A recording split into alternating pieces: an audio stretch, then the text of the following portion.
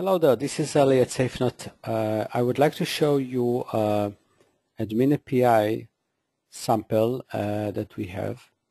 Uh, it's not part of the LDK, it's just something that uh, was created to show you.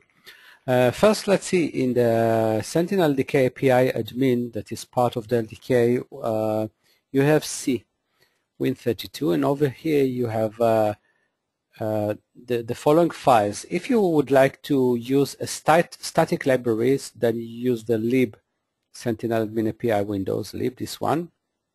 However, if you would like, as I did, uh, to use a dynamic library, then this is the DLL that you need to uh, take. Also, you take the lib in order to edit it into the uh, uh, linker input so you can use it easily for dynamic linkage. So this is what I did and let me show you here the sample.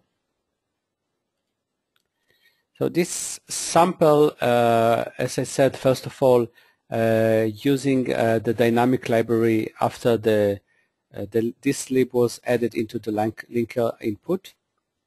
And the target or the aim of this uh, uh, function of this program is to show you which are the opened sessions what is the mean what do you mean the open session? If I maybe I will go to for instance uh, to the toolbox um, just to open a session. How do I open a session?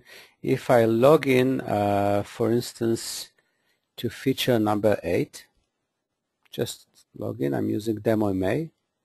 So I log into feature 8 now if I log into feature 8, 8 let's just open admin control center, we can see that uh, if I go to sessions, I see that there is a session opened. Uh, and if I, for instance, log in once again, I have another and I have another session. Two sessions are opened right now. So these are the sessions. And uh, as I said, this is what we see in the admin control center. Uh, and if I want to use, instead of using the admin control center to see this, the open session, if I want to do this using the admin API, then I just uh, just use uh, the admin API DLL as dynamic as I said, and just asked, give me uh, the, and here this, this, the work is using XML types. I have scope for the XML, and then the format. The format is saying, give me details about the session. So how do I know that this is the way how to do it? Simply, I have just used the, the toolbox and in the toolbox in admin API, what I did, I went to get uh, and so here how to retrieve list of sessions and this is the, the details and I saw that just I have to use this XML in order to provide details about which are the open session and that's what I did. So right now we have, as we saw, uh, two open sessions, and we saw it in the ACC, two open session. And let me just continue and maybe first run the uh, the file and see that it's working. I, it should show me that there are two open sessions. Uh, let me see if uh, it's working fine, hopefully.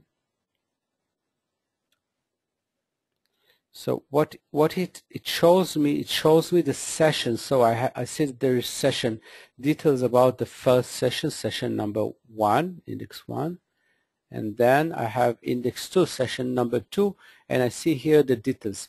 So everything that you see here, all the details, you can find them over here uh, when you run the LinkedIn when you run the admin API. So it's working fine uh, what I wanted to show you here maybe more is that the, the very first function I, I call is the new, which uh, starts the admin API. And then I use the get in order to get information with the scope and the format that I have created above